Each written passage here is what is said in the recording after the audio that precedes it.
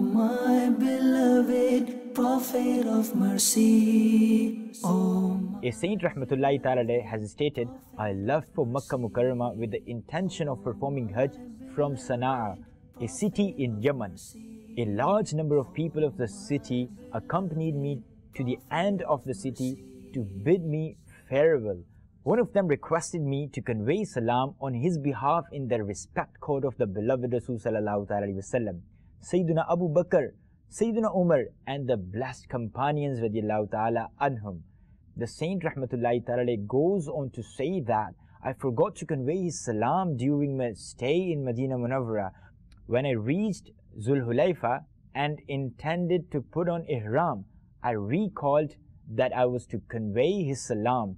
Therefore, I explained to my traveling companions that I was to go back to Medina Munawwara to carry out an important piece of work over there and requested them to take care of my camel until I returned. My companion said that it was the time of the departure of the caravan and I would not be able to rejoin it if I missed it.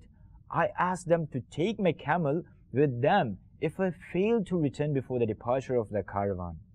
Thus, I returned to Medina Munawwara and conveyed that person's salam to the court of the beloved Rasul sallallahu and the respected companions radiallahu ta'ala anhum. By then, night had fallen. As I came out of Masjid al-Nabawi, I came across a person who had come from Zulhulayfa. I asked him about my caravan. He informed me that the caravan had left. Listening to it, I returned to Masjid al-Nabawi and made up my mind to join any other caravan. I fell asleep in the masjid.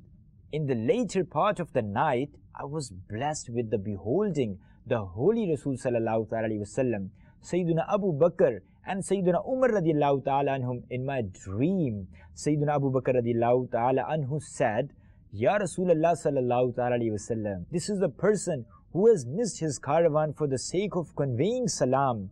Looking at me, the beloved Rasul said, Abul Wafa, I humbly said, O Rasul of Allah wasallam, I am Abul Abbas. He ta'ala replied, You are Abul Wafa. That means one who is loyal. He wasallam then held my hand and instantly placed me in Masjidul Haram in Makkah.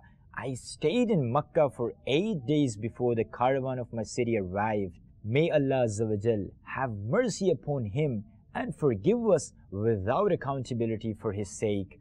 Sallu al Habib sallallahu ta'ala ala Muhammad sallallahu ta'ala alayhi wasallam. We love Madani channel.